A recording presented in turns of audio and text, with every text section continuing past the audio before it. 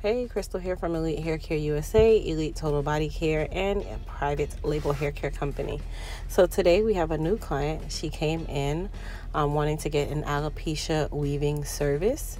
As you guys can tell, she has alopecia in her crown area and it does kind of protrude slightly back towards her occipital bone. So what we started out by doing was I gave her a very slight, more say texturizer. Um, her initial um, request, of course, was for a anything that was going to allow her to have some sort of style um, because she's just not able to wear her own hair. So instead of me doing a full-on relaxer, I texturized the sides and the back um, because her curl pattern actually wasn't very tight and I still wanted to leave a little bit of density in those areas as much possible.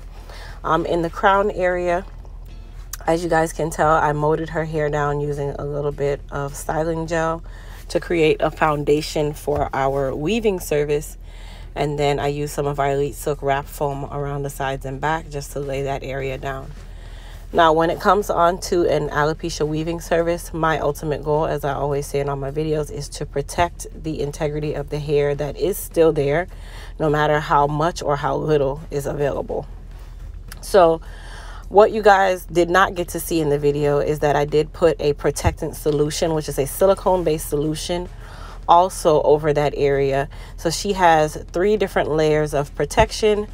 And then this part you guys never really get to see. So in order for my clients to have their um, weaving service or alopecia service um, with a little more longevity, we've come up with a way to allow that area um, to last a lot longer, especially for those clients who perspire a lot.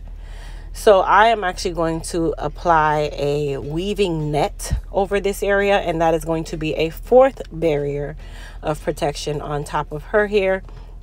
But no glue will actually touch her hair, okay? So if you guys look at the top there, you'll see where the net is on the top of her head. Now for the sides and the back, I did go through and silk out her hair. Remember at the beginning, I did state that we did a mild texturizer, but I did still need the hair to be straight for us to be able to mimic the texture of the extensions that we're using. She did forget to bring her hair, which hair is not included in this service unless requested. Um, but I did have a pack of hair uh, available at the salon. It was a different color, but it was available. So instead of me turning my client away or saying, hey, we can't do it, whatever the case may be, we made it work for her. And of course, you know, I'm always willing to help wherever I absolutely can. And she actually drove about two to three hours to get to me. So I wanted to make sure that I was able to service her and have her leaving even more um, beautiful than when she came, because she's already beautiful as it is. So we're just going to enhance her beauty slightly anyway um, as you guys can tell i finished the silk out process. So i did go through and trim her hair.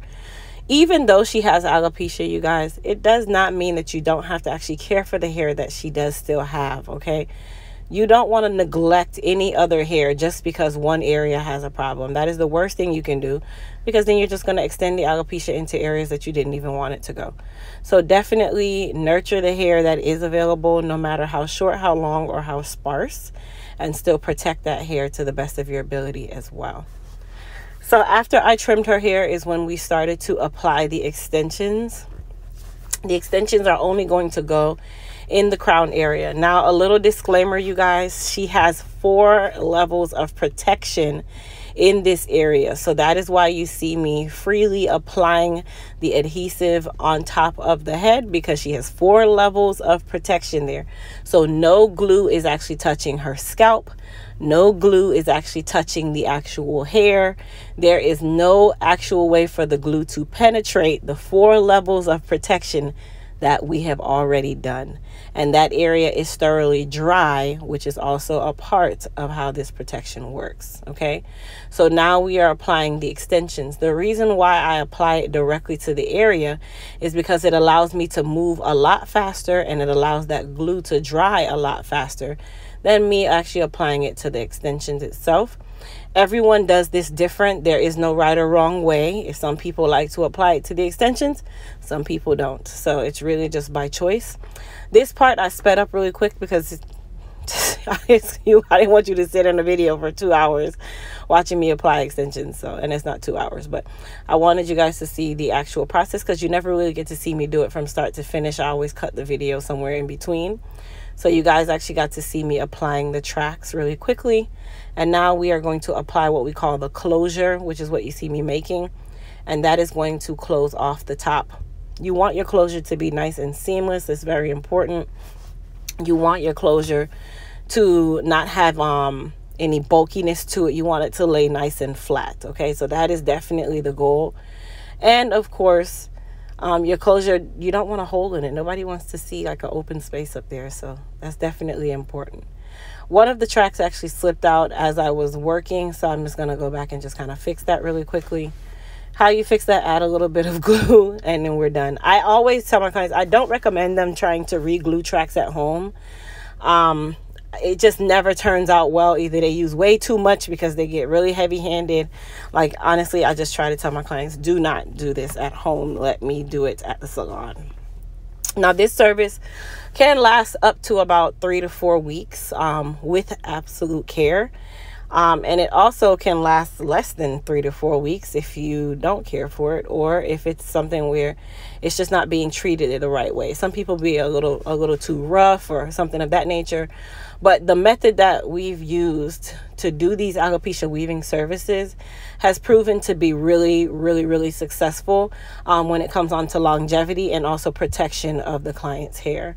So I really like this method. My clients like this method. They typically come back in about three to four weeks and we can do the service again or even change the style. So in the front of her um, or the, the face area, uh, all I did was really just create a part. When you're doing these weaving services, as much as we would love to have that open part, um, I see a lot of stylists do this thing called an invisible part, and I just do not agree with the invisible part. I just I don't like it.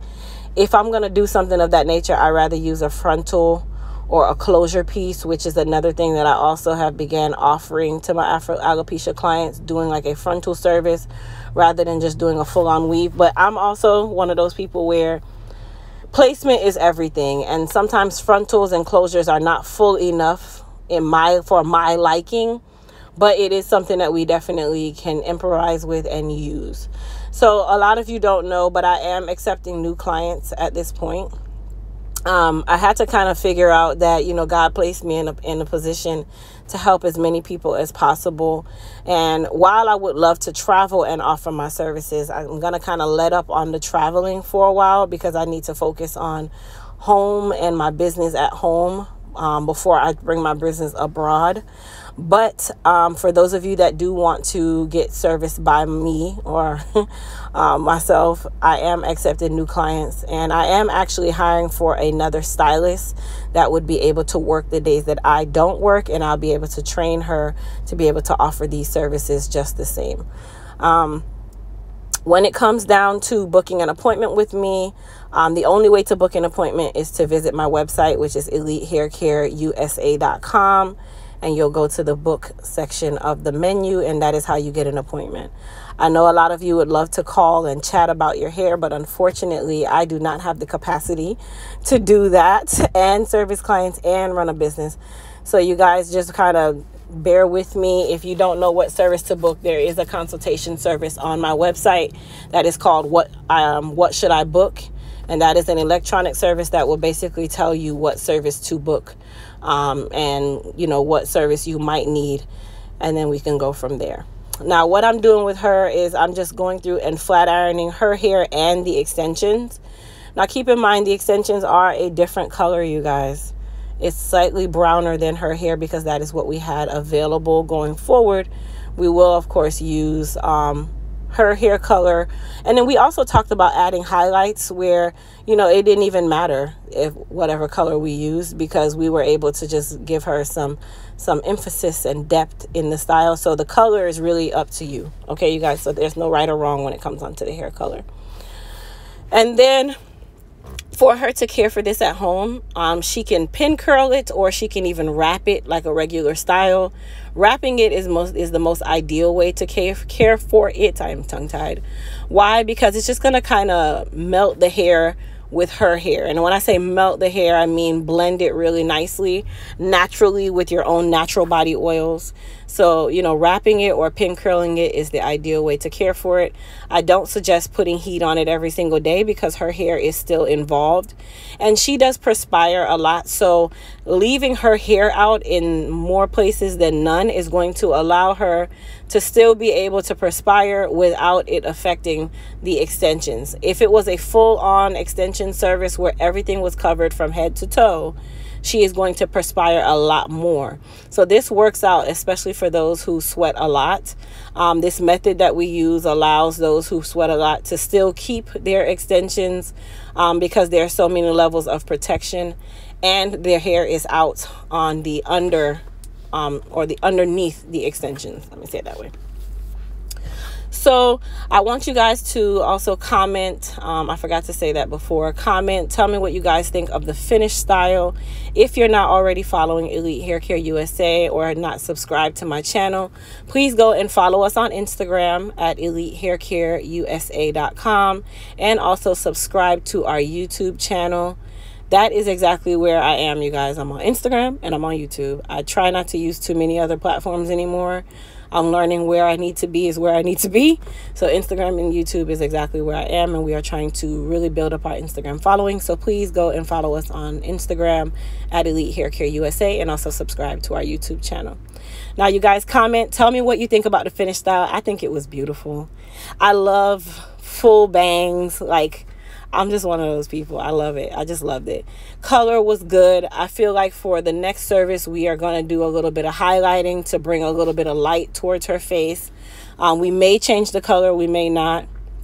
But it just really depends on her and how she liked it. Um, she said everybody loved her hair, by the way. So I was super proud of that. And then listen, just beautiful. Okay, let me just say it's beautiful. I loved it. It blended well. So you guys comment, tell me what you think about the blend, tell me what you think about the style. Be encouraging, you guys, because guess what? Everybody has that thing that they want to look good and feel good, and this is exactly what made her feel good. So I am super super happy. That is my job every single day to make another person smile. So Thank you guys so much for watching. And like I said, don't forget to comment and also thumbs up this video. And then what I'm doing right now is teaching her how to put her bang up out of her face when she's sweating. Um, and that's basically just doing a pin curl. So that's something you can do as well. Whenever you're having, maybe you're having a hot flash or something and you have this service, pull the hair out of your face and it will allow you to cool down a lot faster. But thanks you guys for watching for the 19th time. I'll see you guys in the next video.